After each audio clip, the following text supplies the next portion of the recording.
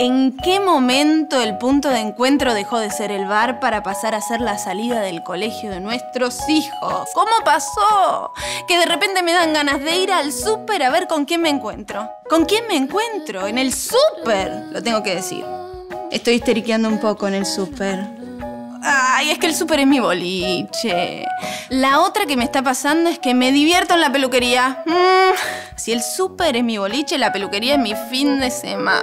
Es que es así, la madre no tenemos fines de semana. Trabajamos los siete días. Yo solo me relajo en la peluquería. Y confieso que cuando me lavan el pelo es el momento más erótico que tengo en la semana. Es como mi romance de verano. Es medio bajón cuando me lava el pelo una mina.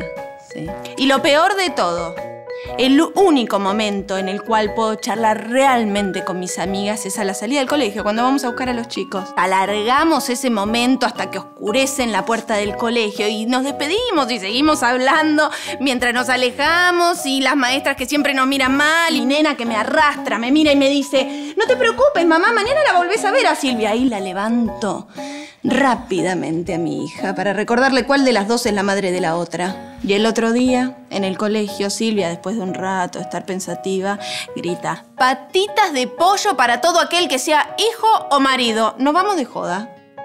Las maestras nos miraron definitivamente asustadas. ¿Qué hacemos, Silvia? Los jueves son nuestros para siempre.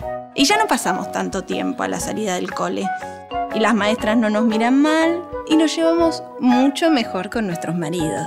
Y en lo personal mi hija está mucho más contenta porque ya no paso tanto tiempo en la peluquería para relajar y el pelo corto me estaba quedando bastante mal.